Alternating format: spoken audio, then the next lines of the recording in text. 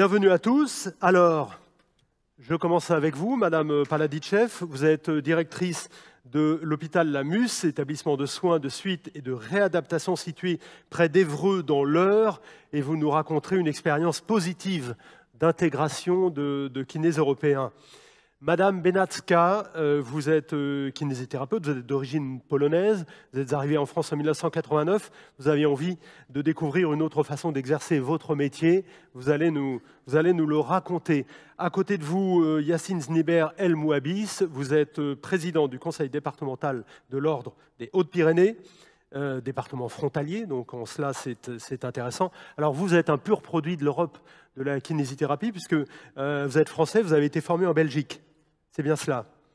L'Espagne, ensuite, avec José Maria Arevalo Rendon, kiné espagnol qui exerce en libéral dans le Pas-de-Calais. À côté de vous, Rémi Gasser, vous êtes président de la commission éthique et déontologie du conseil départemental de l'ordre du Haut-Rhin, autre département frontalier. Donc là encore, votre expérience sera intéressante. Et puis, qu'on ne présente plus, si, allez, Jean-François Dumas, secrétaire général du Conseil national de l'ordre, qui va nous aider un peu à, contextualiser tous les, témoignages de cette première table ronde. Alors, euh, Madame Benarska, je commence avec vous, si vous le voulez bien. Je l'ai dit, vous êtes d'origine polonaise. Alors, on a vu dans l'infographie qui est passée juste avant que parmi les, diplômés de l'Union européenne euh, qui euh, exercent en, France, les Polonaises sont en quatrième position, hein, derrière les Belges, les Espagnols et les Allemands, et avant les Roumains. Alors, vous, vous êtes arrivé en France, je le disais, en 89. Vous aviez envie de, voyager pour découvrir une, autre façon d'exercer votre métier, c'est bien ça? Euh, Oui, je pense que c'était d'abord envie de, partir ailleurs et voir comment on vit ailleurs. Et en même temps en travaillant. Puisque si euh, on ne travaille pas, on ne peut pas partir, tout simplement. Si on reste dans son pays et qu'on ne peut pas partir, on ne gagne pas assez, on ne peut pas partir non plus. Et pouvoir euh, exercer son métier ailleurs, oui, ça, ça permet de, de voir, euh, vivre, connaître les autres cultures. Alors, quand vous êtes arrivé en France, vous ne parliez pas français? Non. Donc la première chose que vous avez faite, c'est d'apprendre la langue? Oui, oui, mais je ne parlais pas France. Euh, la France, je l'ai choisie parce que, en fait, je ne l'ai pas choisie. Euh, à cette si je l'ai choisi, mais à cette époque, il fallait avoir une invitation pour venir dans un autre pays, puisque mon pays, euh, le mur de Berlin est tombé qu'en fin octobre. Et moi, je suis venue en septembre. Alors, il fallait une invitation. Cette invitation, c'était la France. par contre, je parlais anglais et j'ai considéré qu'il fallait, euh, pour mon exercice, parler bien français, parler, écrire, lire. En plus de ça, il fallait que je repasse un diplôme, euh, un équivalent, puisque la Pologne n'était pas dans la communauté européenne. Et pour cette raison-là, encore une fois, il fallait que j'écrive et que je lise. Donc vous avez passé votre diplôme d'État? Oui, j'ai passé mon diplôme d'État. Après avoir fait des études, où? Euh, À Saint-Maurice, à Paris. à Saint-Maurice, donc à 24. D'accord. Ensuite, comment ça s'est passé? Bien ou vous avez rencontré des, difficultés pour euh, exercer votre métier? Euh, Oui, puisque c'était le problème d'exercice lui-même hein, qui, était difficile d'avoir, puisque la Pologne n'étant pas dans la communauté européenne, j'avais mon diplôme, mais je n'avais pas droit d'exercer. Après, c'était la bataille administrative pour avoir les titres hein, de séjour me permettant d'exercer. Euh, et, en fait, euh, la première carte de séjour, hein, j'ai eu comme j'avais ma fille enceinte. Et euh, j'étais très contente de l'avoir parce que j'étais déjà en huitième mois. Alors je me disais, si jamais la préfecture ne me la, donne pas, à ce moment-là, les frais d'accouchement, ça serait à ma, charge. Alors ça fait 30 ans donc maintenant que vous êtes en France. Vous avez acquis la nationalité française en 2004 Oui. Oui. Euh, quel regard vous portez sur, euh, sur ces 30 années? Euh, Si c'était refaire, est-ce que vous referiez tout de la même façon? Ah oui. Je veux si je pouvais revenir en arrière, oui, je le referais. Peut-être un peu différemment, parce que c'est le vécu qui fait qu'on on a une autre façon de voir des choses, mais certainement, j'aurais refait. C'est pas court. Quelle différence entre l'exercice de votre métier en, France et en Pologne? Pour moi, c'est compliqué de le dire puisque j'exerce en Pologne que pendant quatre ans. Et en France, je l'exerce euh, depuis déjà 1994. Alors, euh, je ne peux pas faire la comparaison par rapport à ça, mais je connais mes collègues qui sont en Pologne Et je trouve euh, que le niveau euh, d'études, il est, il, est il est vraiment haut et, et qu'ils ont des, des, des, méthodes qui sont quand même assez très intéressantes et dont ils parlent même dans, dans les symposies et, et dans les colloques. Et euh, je pense que non, je ne me permettrai pas de, de, comparer, non. Je pense que c'est égalité. Merci. Alors je vous propose d'écouter un autre euh, témoignage qui fera écho au vôtre. Elle s'appelle Anna Molinos. C'est une jeune kiné espagnole qui exerce en France après avoir fait ses études en Espagne. Regardez, écoutez. Bonjour, je m'appelle Anna, j'ai 32 ans, je suis espagnole et j'ai fait mes études à l'école de kiné de Soria en Espagne. Lors de mes études, j'ai dû faire des stages au service de rééducation de l'hôpital, en pédiatrie, en EHPAD, en soins palliatifs, au club d'athlétisme et dans un centre pour personnes handicapées. En 2008, à la fin de mes études, j'ai voulu venir en France pour découvrir un mode de travail différent. Avec des copines, on a contacté une agence qui nous a aidé à obtenir l'équivalence et qui nous a trouvé du travail dans un hôpital en campagne. Nous avons été bien accueillis.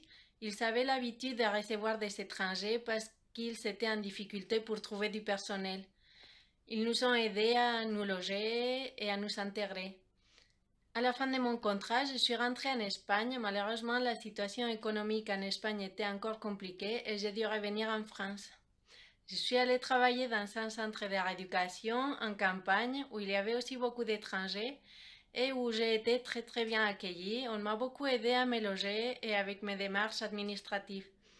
J'étais très bien intégrée et j'aimais beaucoup mon travail. Malheureusement, c'était trop compliqué pour rendre visite à ma famille en Espagne et c'est pour ça que je me suis installée à Bordeaux. Dans un premier temps, j'ai fait du salariat et après, en 2014, j'ai commencé du libéral dans un cabinet de groupe où je pense rester encore un bon moment. Voilà mon parcours, j'espère que ça vous aidera. À bientôt. Merci à, Anna, donc cette, cette jeune kiné. Euh, José Maria Arevalo Randon, vous aussi, vous êtes espagnol, vous avez obtenu votre diplôme à Cadix en 2009, vous exercez en France depuis 2011. Euh, mm, depuis 2010. Depuis 2010, Calvados, l'heure, avant de vous fixer dans le Pas-de-Calais. Et j'étais en Alsace aussi au début. Ah, vous avez beaucoup bougé, vous alors. Oui. Vous avez la bougeotte. Oui. Oui. Alors, est-ce qu'on peut euh, comparer euh, votre parcours avec celui de, cette jeune kiné de, de, Anna? Je pense que c'était un peu similaire. Peut-être un peu la différence, moi, depuis que j'étais tout petit, j'ai toujours voulu venir en France. C'est quelque chose peut-être un peu de viscéral, mais gardez bien près de la bouche le micro. C'est un pays qui me plaît, qui me plaît beaucoup, donc j'ai toujours voulu avoir cette envie. Et donc je travaillais depuis l'école, je travaillais la langue française et tout, bien que le niveau c'est un peu comme en France le deuxième langue, c'est un peu bas. Mais euh, après ça coïncidait que lors de mes stages à l'université, on voyait que la kiné, comme elle était pratiquée en Espagne, c'était pas aussi enrichissant que dans des autres pays. Euh, moi, je trouve qu'en Espagne, le personnel est ultra formé. Il investit beaucoup d'argent dans de matériel, mais qui n'a pas assez de temps pour passer avec les patients, parce que le prix de la séance est vraiment très très bas.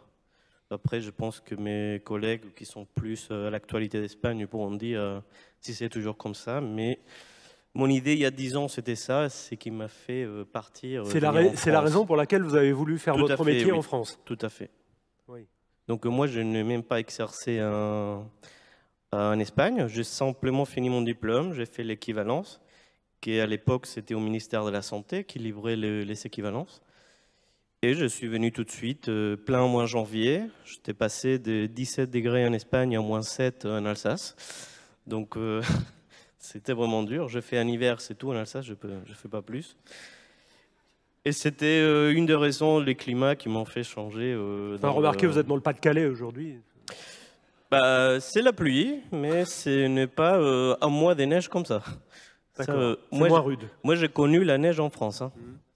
Et euh, la, manière dont vous exercez votre métier en France vous, vous convient?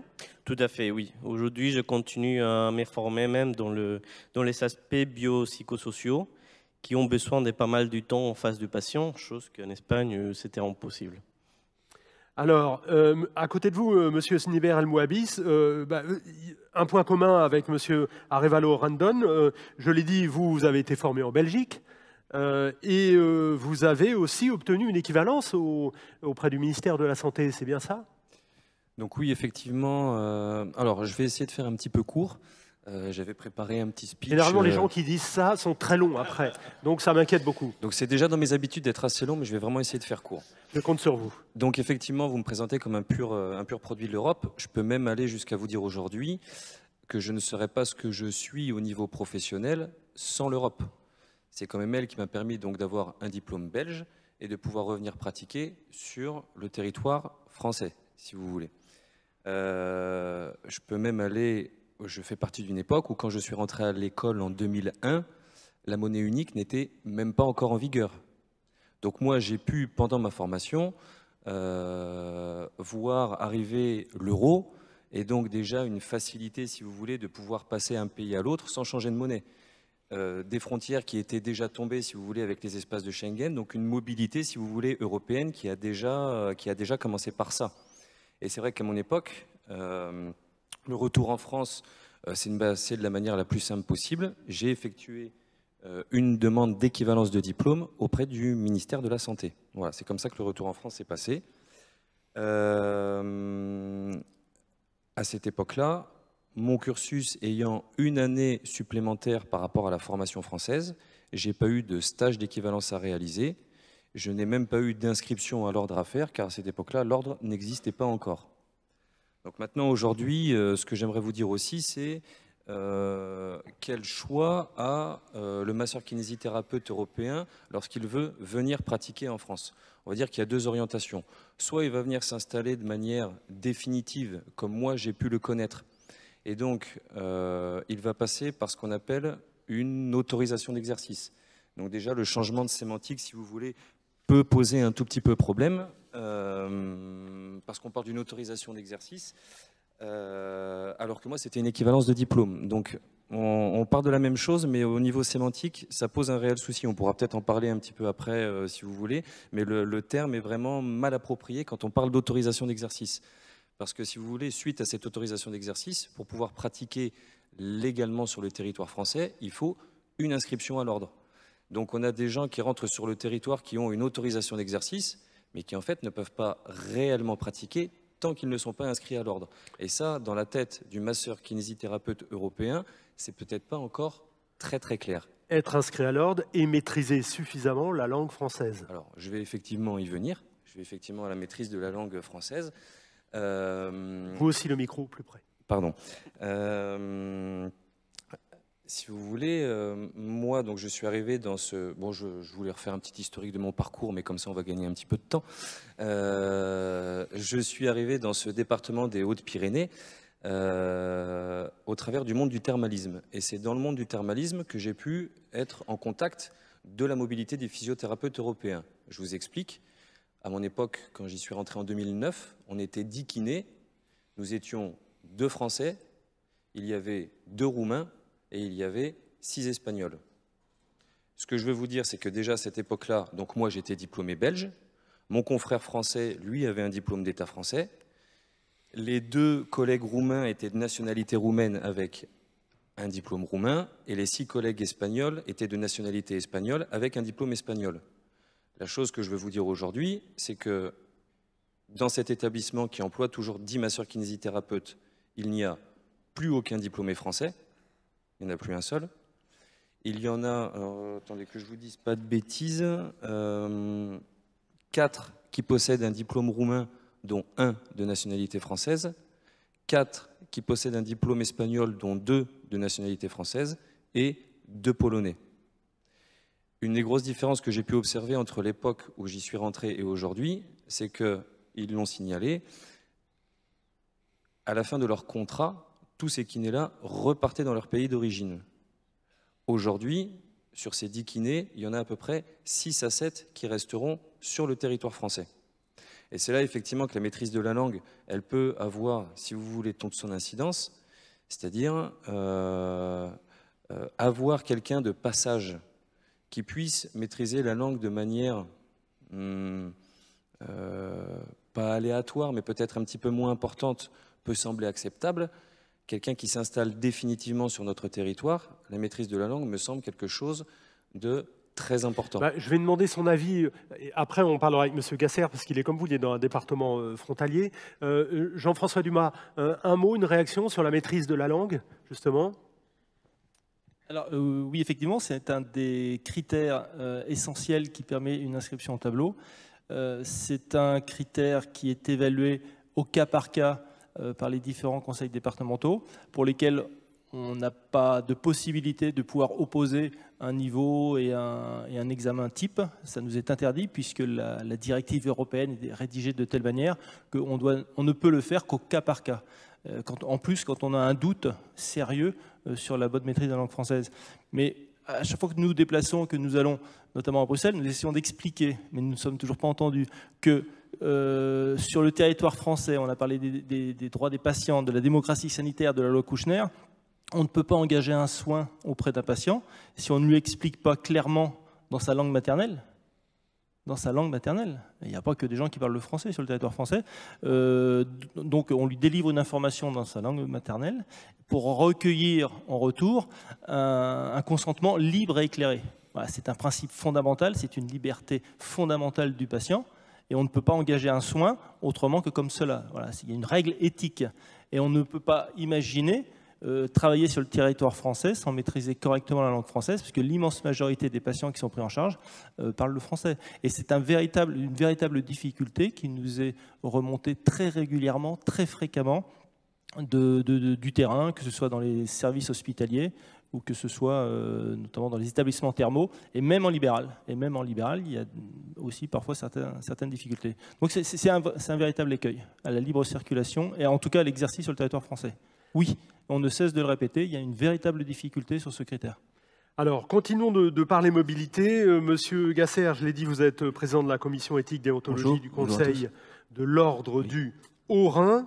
Euh, la situation euh, chez vous est préoccupante, en tout cas de, votre point de vue. Hein. De nombreux kinésithérapeutes français formés dans les écoles allemandes viennent s'installer chaque année dans votre département. Voilà, c'est ça. C'est-à-dire que depuis une dizaine d'années, on voit des, Français qui vont donc euh, en Allemagne se former dans des écoles donc privées, payantes, et qui donc reviennent ensuite euh, en France. Donc qui contournent le numerus clausus, et ce, avec des études, euh, un nombre d'années d'études qui est moindre, puisqu'il est de, de, 3 ans, alors que les, les écoles françaises maintenant sont de 5 ans il y a un, delta de une année de, formation, et pourtant euh, les équivalences de, diplômes sont euh, quand même euh, données. Donc, et ça, c'était un phénomène, pardonnez-moi, qui était anecdotique il y a encore 10 ans il y a une dizaine d'années parce que c'était, on va dire, une école qui le faisait près de Strasbourg. Et maintenant, il y a eu plusieurs écoles qui ont commencé à voir que bah, ça intéressait les Français. Et donc, euh, bah, de, cette école euh, qui sortait euh, une promotion par an d'à peu près une, trentaine, quarantaine, quarantaine de, kinés, maintenant il y a quatre promos par an qui sortent, donc ça fait 160 kinésithérapeutes qui sortent de cette école. Et il y en a du coup maintenant tout le long de la frontière et donc de, la frontière rhénane. on en voit même du coup proche de, Mulhouse. Euh, avec euh, donc euh, dans ces écoles-là une proportion de Français qui commence à augmenter, qui atteint un quart, voire la moitié des effectifs de, ces formations allemandes, à tel point que les Allemands eux-mêmes ne trouvaient pas normal que les Allemands, que, les, Allemands qui voulaient faire des études de, de, physiothérapie en Allemagne n'avaient plus de place pour eux pour se former. Donc ils ont décidé d'augmenter euh, le niveau de langue, euh, euh, le, niveau de langue allemand pour que l'enseignement soit vraiment exclusivement allemand, parce qu'à un moment donné, l'enseignement devenait même français dans les écoles le long du Rhin. Voilà. Donc ça a créé un problème en Allemagne et en France. Ça a créé un problème en Allemagne comme en Allemagne, le système est complètement différent, c'est beaucoup plus libre, l'ouverture des écoles est plus libre. Euh, les Allemands euh, bah, choisissent des écoles où euh, il y aurait, voilà, il y a suffisamment, on va dire, de place pour se former en Allemagne, car il n'y a pas de numerus clausus. J'ajoute aussi que pour pouvoir avoir accès aux études de kinésithérapie en Allemagne, le bac n'est pas obligatoire. Et c'est une formation vraiment qui est très professionnelle professionnelle dans le sens non, universitaire. Hein. Donc on est vraiment sur deux choses différentes, deux, visions différentes de la profession, une vision professionnelle d'un côté et une vision française plutôt universitaire, tournée voilà, vers les, tout ce qui est universitarisation de la profession, etc., etc., les études scientifiques, etc. Voilà.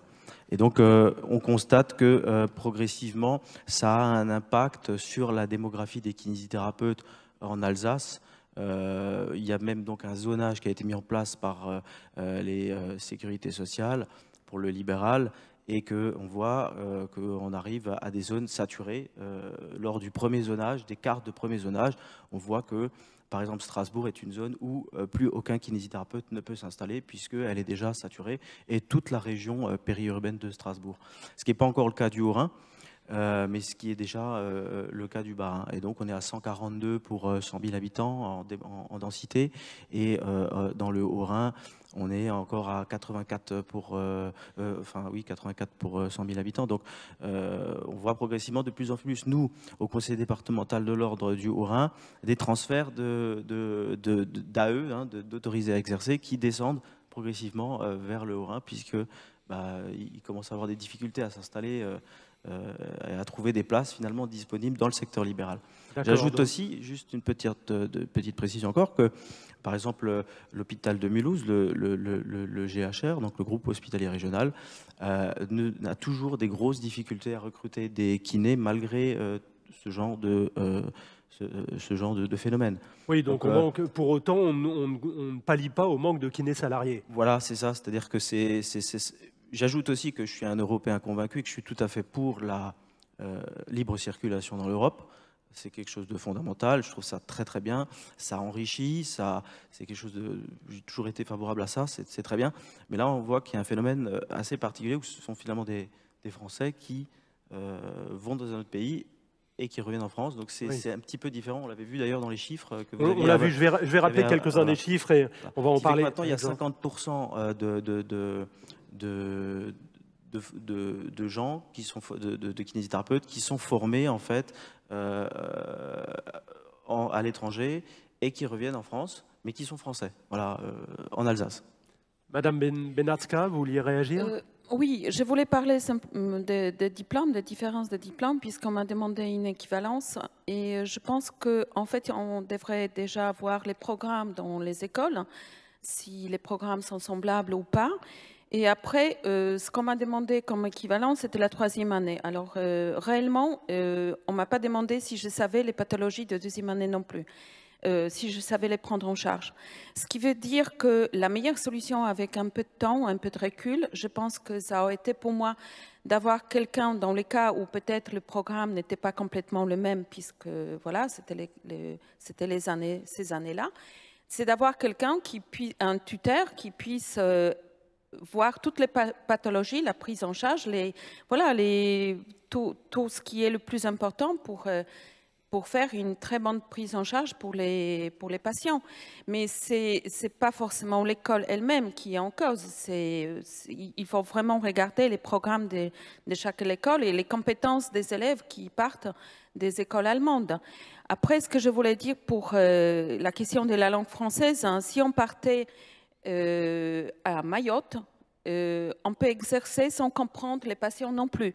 Alors je pense que ce n'est pas le problème de, de, parler bien français ou pas. Ça appartient personnellement à la personne qui vient en France exercer de vouloir connaître la culture et d'apprendre la langue au fur et à mesure et se faire comprendre. Ça ne peut pas être un, un, un élément de sélection. Je pense que si les comme j'ai dit, en, à Mayotte, il y a des patients qu'on ne les comprend pas et on doit exercer quand même les métiers. Alors, euh, euh Monsieur Sniber Al-Mouabis. Alors, effectivement, je pense que ce n'est pas un moyen de sélection pour pouvoir empêcher la personne de venir. On ne revient pas sur la compétence de ce que la personne fait, mais si vous voulez, il faut quand même, quand on va chez un professionnel de santé, pouvoir être capable d'échanger de manière fluide afin que la prise en charge soit la plus optimum. C'est-à-dire que moi, euh, de mon expérience, j'ai quand même assisté à une incompréhension totale entre ce que le patient pouvait demander à son thérapeute et ça peut poser problème pour tout le monde en termes de sécurité, que ce soit la sécurité pour le patient, mais aussi la sécurité pour le professionnel de santé. Donc la langue, non pas qu'il faille être euh, ultra exigeant, et encore que le niveau demandé par le législateur, c'est-à-dire un équivalent B2, certes, bon nombre de Français ne seraient peut-être pas capables d'avoir un B2. Ça, là-dessus, je préfère le préciser, effectivement. Mais il y a une différence, si vous voulez, entre un niveau très élevé et au moins une communication fluide pour pouvoir euh, communiquer avec son professionnel de santé. ça doit être un critère de sélection. Mais ce n'est pas la sélection, si vous voulez. Je ne reviens pas sur la qualité du contenu de la formation de ce que ces gens ont. Je ne reviens pas du tout sur le côté praticien, si vous voulez, de la chose. Mais vous l'avez dit vous-même, moi, si demain je dois aller en Roumanie, je ne me vois pas parler français avec un Roumain pour pouvoir, si vous voulez, euh, pour, pouvoir euh, communiquer tout, euh, tout simplement, en fait. Bien, on va essayer d'élargir un peu. Jean-François, vous êtes exprimé sur la maîtrise de la langue tout à l'heure. Je voudrais rappeler quelques-uns des chiffres qu'on a vus dans l'infographie. 75% des kinés en France ont été diplômés en France, 25% à l'étranger. Entre 2015 et 2019, les diplômes européens obtenus dans un autre pays ont augmenté quatre fois plus vite que le diplôme d'État français. Et une projection montre qu'en 2035, alors ça, ce n'était pas dans l'infographie, en 2035, il pourrait y avoir sur notre territoire plus de kinés formés à l'étranger qu'en France. Euh, oui. On ne va pas s'arrêter. Bon, ce, critère euh, visait à alerter, à piquer un petit peu l'auditeur euh, pour, lui, pour, essayer de, bien faire comprendre quelle était la dynamique actuelle. Euh, il y a une question à laquelle on n'est pas capable de répondre. On se tourne systématiquement vers notre tutelle, vers le ministère. Je sais qu'ils vont nous dire qu'ils le savent, ils connaissent très bien la réponse, mais moi je ne l'ai pas la réponse et je ne connais pas la définition de secrétaire, on ne le connaît pas. De combien de kinésithérapeutes l'État français a-t-il besoin pour prendre en charge correctement la population qui vit sur son territoire Voilà, la question, elle est là. Tant qu'on ne répondra pas à cette question, pourquoi elle est essentielle? Parce que le flux que l'on constate, euh, bah, le flux m'a permis d'avoir une assistante. Moi, j'ai eu ma première assistante, elle était, euh, était d'origine polonaise. Le flux permet à des établissements de fonctionner. Les établissements thermaux fermeraient s'il n'y avait pas de diplômés euh, de l'Union européenne. Le flux permet à certains nombres de, de, services hospitaliers de fonctionner, sinon il n'y aurait pas de kiné. Euh, dans des services de rééducation également. Donc l'Europe est nécessaire au fonctionnement du système de santé en tout cas euh, par le prisme de la kinésithérapie français. Mais de combien de kinésithérapeutes avons-nous besoin? La densité, vous l'avez rappelé, euh, c'est Yacine, je crois qu'il l'a rappelé, ou c'est toi, 14 euh, pour 10 000 habitants, c'est la densité française. C'est exactement la densité européenne, mais qui est tractée vers le bas par des densités comme en Roumanie, qui, qui est de 1 pour 10 000 habitants. Et en revanche, nous avons un autre modèle, qui est le Benelux, euh, que sont les pays du Nord, les pays scandinaves, la, Finlande, les pays, euh, Pays-Bas, le Benelux, le Danemark, je l'avais oublié, euh, pour lesquels les densités montent jusqu'à 25-26 kinés pour 10 000 habitants. Donc il y a un autre modèle, je ne peux pas imaginer que les finances publiques soient gaspillées dans ces pays-là pour prendre en charge la population. Donc où est-ce que l'on met le, niveau, enfin la densité idéale? La densité dont on nous dit qu'elle est idéale aujourd'hui, elle est absolument artificielle on prend la densité la plus faible, la densité la plus forte, on prend la moyenne, on dit voilà, la norme en France, la moyenne, c'est 14 pour 10 000. Ben non, il y a d'autres modèles. On peut avoir recours beaucoup plus à la kinésithérapie, notamment pour prendre en charge les personnes âgées. Mais ce n'est pas le choix de la France, il faut le savoir. Donc le jour où notre tutelle sera capable de nous dire de combien de kinésithérapeutes nous avons besoin pour prendre en charge correctement euh, la population qui vit sur le territoire français, on pourra après dire si ce flux euh, de mobilité européenne euh, est excessif ou pas. Pour le moment, moi, je suis incapable de le dire. Et c'est ça la vraie difficulté. De combien de kinésithérapeutes avons-nous besoin? Et qui peut le dire ici?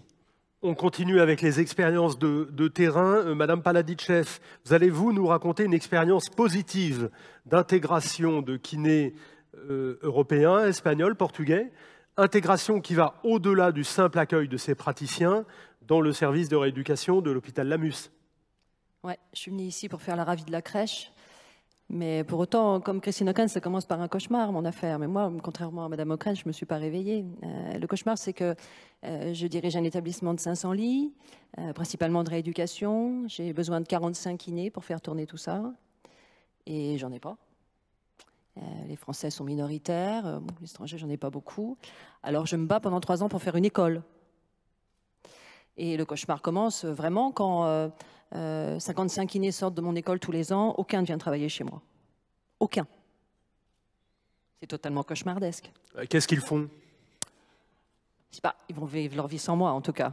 En tout cas, ils ne veulent pas être salariés, pour l'immense majorité d'entre eux. Alors on embauche des kinés étrangers. Euh, on essaie de les embaucher intelligemment, effectivement. On a maintenant un peu de recul. Alors c'est quoi embaucher un kiné étranger intelligemment? C'est d'abord effectivement euh, lui réserver des conditions d'accueil qui permettent, euh, qui permettent de quitter son pays, qui est souvent extrêmement lointain, qui permettent de le quitter euh, quand on a 22, 23 ans et, qu'on laisse à des milliers de bornes sa famille, ses copains, son climat. et puis, c'est aussi élaborer une forme de partenariat les plus proches possibles avec les gens qui forment à l'étranger nos futurs salariés. Alors nous, on a développé un partenariat particulièrement étroit euh, avec l'Espagne, euh, où on a euh, affaire à des responsables pédagogiques dans les universités espagnoles, en particulier celle de Madrid et celle de Barcelone, extrêmement ouverts. je, crois qu'il y a le représentant de l'ordre espagnol ici, quelque part, que je n'ai pas rencontré, mais en tout cas les responsables universitaires, puisque la formation est universitaire en Espagne, très universitaire, plus universitaire que la nôtre aujourd'hui ici. Hein. Euh, et donc les responsables universitaires euh, sont, extrêmement attentifs. Hein. L'université de Madrid et de Barcelone ont par exemple euh, ouvert des sessions internationales avec, avec un enseignement en français, en anglais et en espagnol. Donc voilà, on essaie de travailler à la base, très, vous avez recruté très, combien, humblement. Vous avez recruté, Alors moi, combien sur, de personnes Sur 45 kinés, j'ai plus de la moitié, en moyenne, plus de la moitié de mon effectif est diplômé à l'étranger des étrangers diplômés à l'étranger. En fait, extrêmement peu de Français diplômés à l'étranger, quelques-uns. J'ai dit Espagne et Portugal, il y a, d'autres pays Espagne, Portugal, oui, oui, oui, c'est absolument une mixité tout à fait formidable et formidablement riche d'ailleurs. Quelques Polonais, quelques Bulgares, mais quand même principalement euh, des gens de la péninsule ibérique, des Portugais aussi. Euh, donc, euh, les choses se passent bien. Statistiquement, tout à fait clairement, la, j'allais dire la durée de séjour, c'est une déformation hospitalière, mais en tout cas, la durée de vie du salarié kinésithérapeute chez moi, euh, qu'il soit étranger ou français, est exactement la même, c'est-à-dire deux ans en moyenne. Euh, C'était le cas des kinés euh, français de, longue date. Hein. ça fait 15 ans que la durée de vie d'un kiné moyen dans nos établissements, c'est deux ans. Hein, c'est-à-dire moins que les infirmières dont on parle tout le temps en disant une infirmière c'est 4 ans, les kinés c'est 2 ans. Hein. Donc les, mm, étrangers restent exactement le même temps en moyenne. Euh, encore une fois, l'intégration se passe bien. Toute petite nuance, je suis bien d'accord avec ma voisine, toute petite nuance sur le niveau de dents qui me paraît moi extrêmement important. Euh, parce que je pense que c'est très compliqué, ça peut se faire, mais je pense que c'est quand même très très compliqué d'accompagner dans de bonnes conditions des patients sans en parler la langue. Donc nous, on a, euh, depuis longue date déjà, euh, nous avons des profs de français, c'est-à-dire j'embauche des profs de français euh, qui travaillent avec les kinés étrangers pour leur faire acquérir, avant le passage à l'ordre, devant l'ordre, un bon niveau de français, puisque nous accueillons notre établissement ayant de multiples spécialités, la plupart des stages qui permettent d'avoir l'autorisation d'exercice se passent dans notre propre établissement, sauf la psychiatrie. Euh, donc nous travaillons en parallèle euh, la langue, euh, ce qui nous permet, in fine, d'avoir des professionnels très mixés, mais qui sont parfaitement intégrés et qui, je dois dire, je suis aussi une fervente européenne, et qui, je dois dire, même si je ne serais pas très populaire ici aujourd'hui, de ce que j'entends, que c'est formidablement riche, et que l'ambiance de mon service de kiné aujourd'hui, eh bien très clairement, elle est bien meilleure qu'il y a 15 ans quand je l'ai trouvée. Euh, parce que euh, nous avons affaire à des jeunes professionnels qui sont formidablement motivés, quitter son pays, quitter sa langue, sa famille, euh, pour venir travailler en France, ça ne se fait pas en soufflant dessus, et j'ai eu le plus grand respect pour cette démarche-là. On a donc des gens motivés, extrêmement bien formés. comme vous le disiez, moi j'ai les, deux casquettes euh, et euh, ils sont extrêmement bien formés. De toute façon, nous, nous sommes des employeurs. Donc, euh, comme pour tout emploi chez les kinés ou n'importe qui d'autre, nous sélectionnons les candidats. La porte n'est pas grande ouverte à n'importe qui. Tout salarié subit un entretien d'embauche et quelques tests. En tout cas, ceux que nous avons font formidablement bien tourner avec une très bonne qualité de soins nos services. Bon, donc vous êtes euh, satisfaite, visiblement satisfaite de cette expérience. Que vous inspire le, ce témoignage? Et en même temps, totalement désespéré de, de ne pas avoir les, les, kinés français que vous souhaitiez au début. Avoir, bah, avoir les kinés français que je souhaiterais aussi. Euh, hmm. La mixité euh, est en ce bas monde une richesse qu'on ne peut pas contester. Qu'est-ce que ça vous inspire? Nous sommes tous Européens convaincus, on a bien compris qu'effectivement, grâce à l'Europe, euh, vous pouvez euh, trouver des kinésithérapeutes. Mais après, on rejoint aussi le problème du salariat. On a un vrai désert médical en France, un désert de kinésithérapie en France. C'est en premier euh, l'hôpital, public ou privé. C'est d'abord l'hôpital. Il manque 3000 postes équivalents temps plein dans les, établissements de santé. voilà. Et bien évidemment, j'entendais des murmures, mais il ne faut pas avoir peur de le dire, la rémunération d'un bac plus 5, telle qu'elle l'est que ce soit dans la fonction publique hospitalière, ou les contractuels à l'hôpital public, ou bah, la, Convention 51, je crois, euh, dans vos établissements privés. Bah, bah, je ne veux pas faire du corporatisme, mais c'est absolument scandaleux de rémunérer un bac plus 5 qui a choisi pour leur l'immense... Enfin, oui, mais il ne faut pas avoir peur de l'affirmer, parce que... Après, le meilleur moyen de, de trouver des kinésithérapeutes qui veulent travailler comme salariés, c'est de les rémunérer correctement. Et quand vous savez qu'en plus, ces étudiants, pour un certain nombre d'entre eux, un grand nombre sont passés par la PACES et ont choisi kiné alors qu'ils pourraient très bien faire médecine, il faut, arrêter de penser que les kinésithérapeutes, c'est un sous-produit euh, de la médecine. C'est pas comme ça que ça fonctionne sur le terrain. Il faut, arrêter de le penser, ça. Et donc, si vous voulez des services qui fonctionnent, alors ils fonctionnent a priori très bien dans votre établissement, j'en suis très content. Mais euh, euh, il faut d'abord rémunérer correctement un bac plus 5, d'autant plus que ils payent leurs études pour un certain nombre d'entre eux. Mais, je voudrais, je, vais vous laisser la parole, euh, rappeler aussi une chose, c'est que nous, on constate, euh, quand on compare le niveau d'études et les compétences qui sont acquises par les différents professionnels qui sont allés se former, que ce soit en France, mais aussi à l'étranger, que les niveaux sont très disparates tout ne va pas très bien dans le meilleur des mondes. C'est absolument faux. On voit des disparités assez importantes. Et en plus, on est passé d'un modèle en trois années à un modèle en cinq années. Donc on a une marche, un gap, une différence beaucoup plus importante. Mais c'est aussi sur la, la compétence acquise sur les lieux de stage. Et là, c'est extrêmement disparate. Je vous assure qu'il y a des champs entiers qui sont méconnus par certains peu importe leur nationalité. Je ne parle pas des nationalités, je parle des diplômes.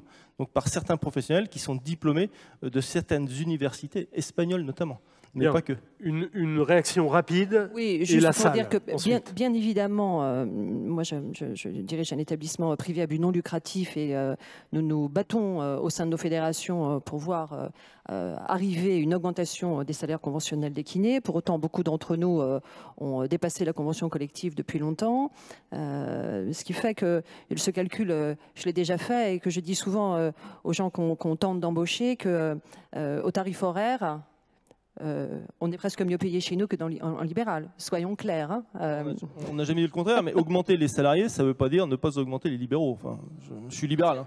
C'est pas ce que je veux dire. Allez, on se tourne vers la salle pour des questions, des témoignages ou des réactions. Je vois déjà ici une main qui se lève. On va vous faire passer un micro. Voilà, monsieur. Il y a monsieur là-bas également. Je vous demanderai bon, vous avez compris, hein, je suis aussi un peu le maître des horloges, donc il faut qu'on respecte le timing, donc d'être relativement concis dans vos, dans vos questions et, de vous présenter, s'il vous plaît. Oui, Roland Acton, kinésithérapeute, entre autres. Euh, et euh, bon, simplement, je voudrais faire une réflexion ou disons une réponse à notre consoeur polonaise, bon, qui considère un peu la langue comme étant, euh, disons, importante mais accessoire. Je crois que par rapport à l'époque où elle est arrivée euh, en France, et par rapport à l'époque encore plus où j'ai débuté mon exercice professionnel, hélas, euh, il y a eu un grand changement. Auparavant, on attendait des kinésithérapeutes qu'ils soient des exécutants. Donc du moment qu'ils connaissaient les gestes techniques, il n'y avait pas trop besoin d'avoir une maîtrise, d'avoir une construction du traitement. On attend maintenant des kinésithérapeutes qu'ils deviennent les ingénieurs du traitement. Donc les échanges avec les patients, certes, mais également les échanges avec les autres professionnels de santé, être capable de lire et de comprendre même finement ce qu'il y a entre les lignes sur un compte-rendu opératoire, sur un compte-rendu radio, c'est important et ça demande une maîtrise de la langue. Je vais défendre Maria parce que je vais la défendre parce que c'est pas du tout ce qu'elle a voulu dire. Euh, elle expliquait qu'à Mayotte, par exemple, bah, il y a beaucoup de ressortissants sur le territoire qui ne parlent pas le français et, donc pour les prendre. Mais ce qu'elle a voulu dire aussi, elle a, elle a malheureusement parfaitement raison puisqu'elle ne fait, elle ne dit que ce que dit la directive, c'est que la maîtrise, la, la maîtrise de la langue du pays euh, d'accueil ne doit pas être vue pour le pays qui accueille comme une compétence. Donc pour Bruxelles, c'est ça. Voilà. Ça, on distingue la vraie compétence, la technique sur la prise en charge du patient de la maîtrise de la langue. Alors que pour nous, dans notre droit français, c'est intimement lié, puisqu'on ne peut pas euh, délivrer une information claire et loyale et obtenir un, consentement libre et éclairé sans parler euh, la langue maternelle de la personne qu'on prend en charge. Mais ce que vous voulez dire, Maria, c'est qu'effectivement, il n'y a pas que des gens qui parlent le français sur le territoire français. Donc il faut distinguer les deux. Et, la directive dit bien que ça n'est pas une compétence. certains, certains à Bruxelles disent même, mais pour les orthophonistes, c'est pareil.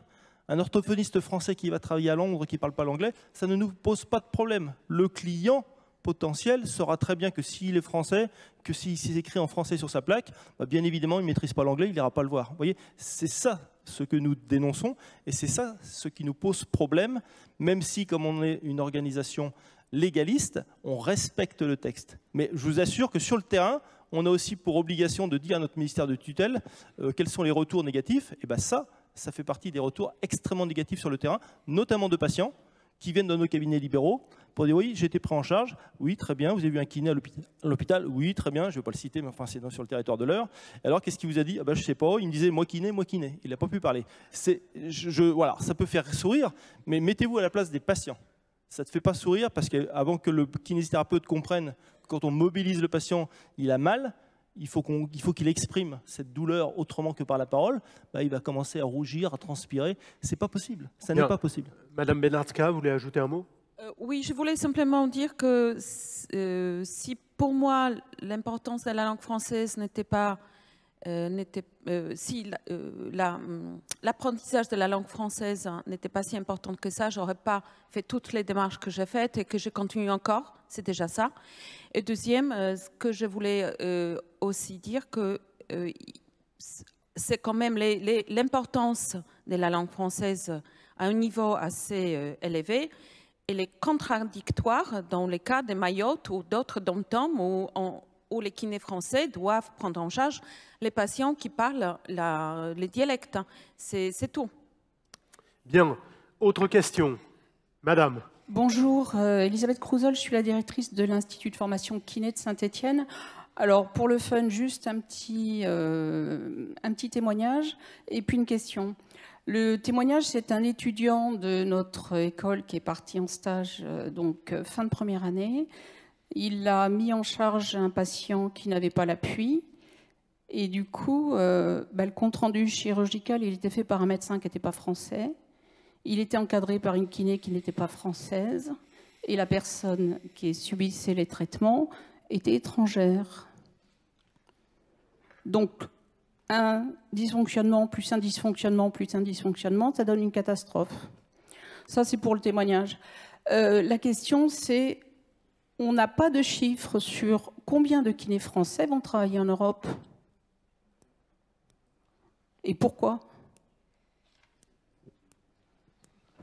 Alors, on a quelques chiffres, ils sont, très très faibles, puisque depuis que l'ordre existe, quand un euh, kinésithérapeute euh, souhaite, euh, sur le territoire français, alors un kinésithérapeute inscrit au tableau du Conseil de l'ordre, souhaite aller exercer dans un autre pays, européens ou en dehors de l'Europe, quasiment systématiquement, les pays d'accueil demandent un certificat de euh, good standing certificate, hein, de, bonne, conduite. Voilà. Et donc c'est l'ordre qui les délivre. Donc on en délivre moins d'une centaine par an. Donc on a moins d'une centaine uniquement de professionnels inscrits au tableau, voilà, qui, qui sortent du territoire français pour aller travailler. Euh, et c'est plus alors j'ai pas fait l'extraction euh, hier, mais à mon avis, il y en a plus qui vont en dehors de l'Europe que dans l'Europe. Donc ils veulent des parcours parce qu'il y a des universités qui sont développées. Autre question, monsieur. Bonjour. je m'appelle Jonathan Stammer, je suis kiné libéral et trésorier pour OMT France et je suis aussi intervenant en UE d'anglais à la PHP et à l'EFOM. Ma question repose sur la mobilité des Français en Europe et plus précisément qu'est-ce qu'on fait dans les FMK pour développer cette compétence d'anglais, de langue étrangère, parce qu'on se plaint de personnes qui ne maîtriseraient pas la langue en venant en France, mais qu'en est-il dans l'autre sens? Merci. Qui souhaite parler sur euh, la maîtrise de l'anglais? On est, enfin, je, moi je représente les kinesiothérapeutes qui sont inscrits au tableau de l'ordre en France, donc euh, je peux difficilement parler pour les pays d'accueil. Euh, oui. Je, je pense que si tu as la réponse, il faut nous la donner tout de suite, il ne faut pas nous laisser mariner. Attendez, gardez le micro. Euh, Rendez-lui son micro.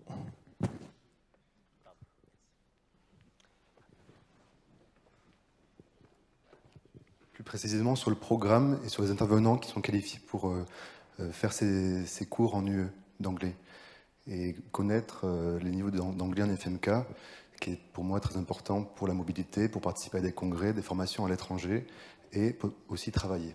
Alors soit on donne la parole à un directeur d'IFMK, je sais qu'il y en a, soit on reporte la question quand un directeur d'IFMK sera sur le plateau. Mais je sais qu'il y en a, je les vois là, j'en vois certains. On en a un là qui, madame. Donc euh, ils vont pouvoir vous parler du niveau d'anglais exigé. Allez, rapidement. J'en vois un là, j'en vois une ici. Si ça peut, pas directrice, mais presque. Voilà, madame au quatrième rang, là, on lui donne un micro. Si ça peut susciter des réponses euh, par d'autres intervenants. Véronique, t'es où? Allez là, Allez, on y va. Il y a on, manque, on manque de micro en fait. Allez, prenez un micro et répondez-nous. Je vous le repasse. Alors, je disais donc Madame ici au 1, 2, 3, 4e rang. Nicolas Pinceau là. Ça marche Ouais. Du coup, euh, la, problématique qui est peut-être pas commune. Non, je réponds au monsieur. Ah bon, euh, Madame, moi aussi, vous voulez répondre C'est bon, je réponds. Euh, déjà pour une... Donc euh, bonjour, Nicolas Pinceau, je suis le directeur de l'IFMK de Grenoble et donc euh, pour une bonne part des instituts de formation, en fait, c'est les conventionnements avec l'enseignement d'anglais de l'université qui permet la dispensation des enseignements et le niveau requis, c'est le niveau B2 à la fin du, du master et qui est du coup équivalent dans les IFMK et pour les autres masters. Bien, on, continue. je peux rajouter que nous, à l'école universitaire de kinésithérapie du Centre Val-de-Loire, on a carrément embauché une prof d'anglais qui fait donc tous les cours d'anglais dans notre institut. Donc euh, elle est euh, formatrice à temps plein euh, à l'école. Donc c'est vrai que ça nous permet quand même de développer des compétences en anglais non négligeables. Merci. Encore une ou deux questions peut-être, et ensuite on mettra fin à cette table ronde. Euh, J'avais oui. une question, euh, une, remarque. En fait, le, ce qu'on voit depuis le début quand même sur le sur l'Europe, je vais me lever, euh, c'est qu'une valeur cardinale, c'est la liberté, la liberté de circulation, etc. en fait, on s'aperçoit quand même que 50% des gens qui vont se diplômer à l'étranger sont des Français. Donc la question, c'est est-ce qu'ils est sont vraiment libres dans leur déplacement, au sens où est-ce que si on leur avait donné la possibilité de le faire en France, ils auraient réellement choisi d'aller se former à l'étranger, euh, j'en suis pas certain.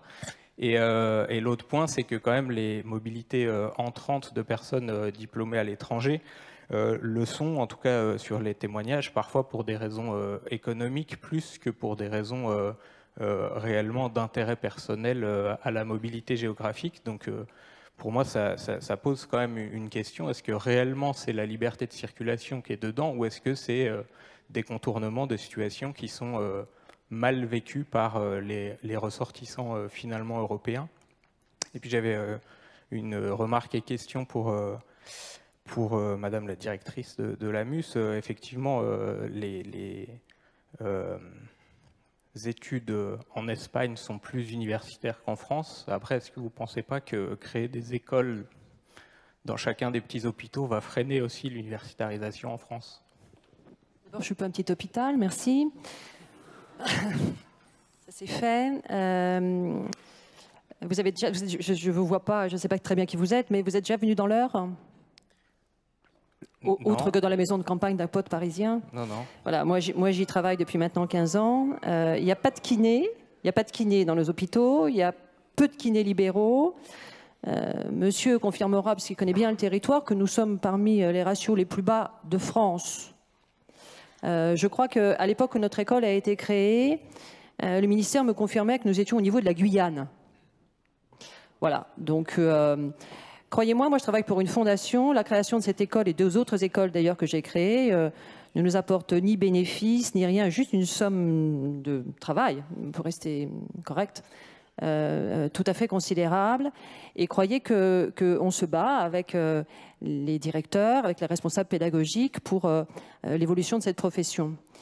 et que on parlait des, cours d'anglais. Moi, je crois que euh, les, les, que vous êtes ne pourront pas avoir accès à des travaux de recherche sérieux euh, si on maîtrise l'anglais comme les jeunes le maîtrisent aujourd'hui. Donc, le jeune homme euh, là-bas au fond me paraît pousser les choses dans le bon sens. Nous aussi, nous avons des enseignants anglophones.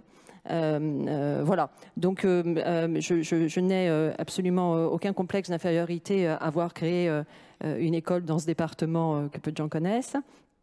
Euh, ça me paraît tout à fait légitime.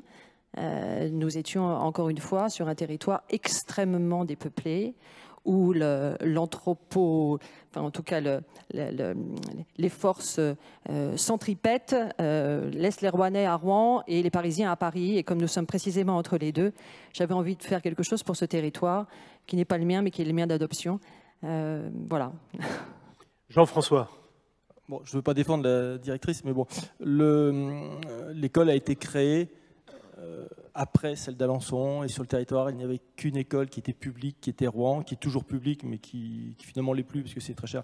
Non, le problème, c'est bien évidemment, euh, plus on va créer d'écoles auprès d'établissements qui ont besoin de trouver des kinésithérapeutes et qui ont l'espoir, et d'ailleurs ça ne fonctionne pas, vous me l'avez dit, euh, que leurs étudiants futurs professionnels soient ancrés sur le territoire et viennent travailler dans l'établissement, ça ne fonctionne pas. Mais tant qu'on aura cette logique-là, euh, on, sera, enfin vous serez plus ou moins en concurrence finalement avec l'universitarisation. Alors que nous, je peux faire que, j'appelle de mes voeux que le modèle euh, je regarde Annabelle, je regarde Étienne Panchou, que le modèle d'Orléans, qui est le modèle pratiquement parfait. C'est une école universitaire. L'école de kiné était entièrement intégrée à l'université. n'a pas l'air d'accord à ce que vous dites, euh, non, non, mais moi je parle pour moi, je ne parle, parle, pas pour elle. Vous dites, vous dites, que notre école est universitaire. C'est pas parce qu'elle n'est pas assise au sein de l'université qu'elle n'est pas universitaire comme toutes les écoles. Non, mais ce que disait monsieur... Aussi universitaire que toutes les autres écoles je ici pas dit le contraire, mais ce que disait monsieur, euh, monsieur Pinceau, Nicolas Pinceau, c'est qu'à force de multiplier effectivement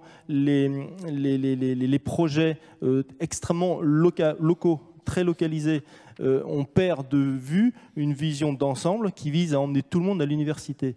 Il ne disait pas ça, il ne critiquait pas. Si vous êtes euh, en mesure d'intégrer entièrement votre école à l'université, tant mieux. Mais chez nous, c'est très compliqué parce que maintenant, il y a deux universités, puisque les deux régions ont fusionné.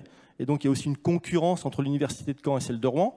Donc vous, vous êtes à Évreux, mais à quelle université se rattacher, on ne sait pas. Donc ça va être des négociations. On ne sait pas, parce que vous êtes mal renseigné, monsieur. Évidemment qu'on sait. Je travaille dans un contact extrêmement étroit euh, sur délégation de l'université de Rouen. Mais rien ne vous interdit d'aller conventionner avec Caen.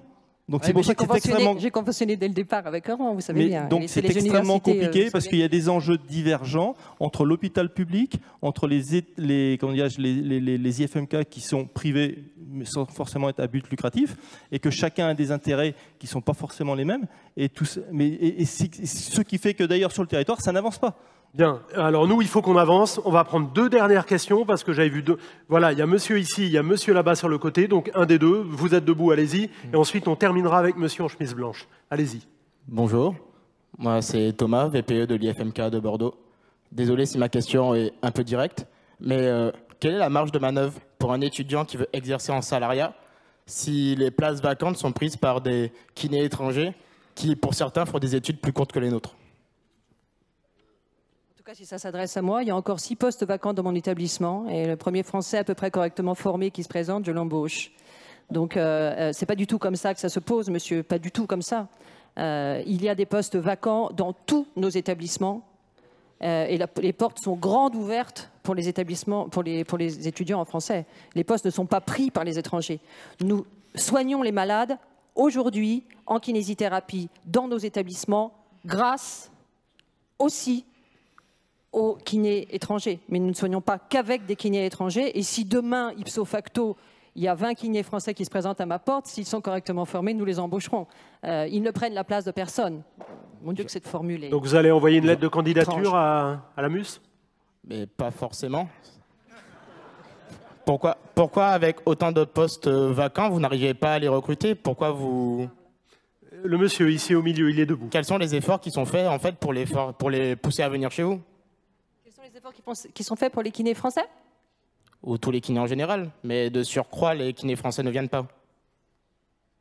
Les efforts pour les attirer chez vous, c'est ça? C'est ce que vous demandez? Exactement. J'ai cru le dire tout à l'heure, mais je vais bien le répéter.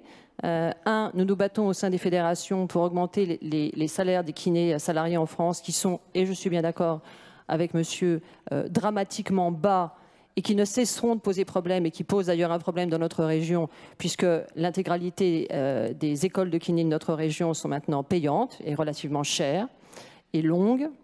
Euh, je, voulais d'ailleurs ajouter euh, comme réflexion tout à l'heure qu'il sera très très intéressant d'observer ensemble ce que va donner la réforme de la PACES, qui, comme vous savez tous, est supprimée très prochainement, et que l'entrée dans nos écoles en France va s'en trouver, à mon sens, profondément modifiée. Ça serait intéressant d'observer tout ça, tout ça ensemble.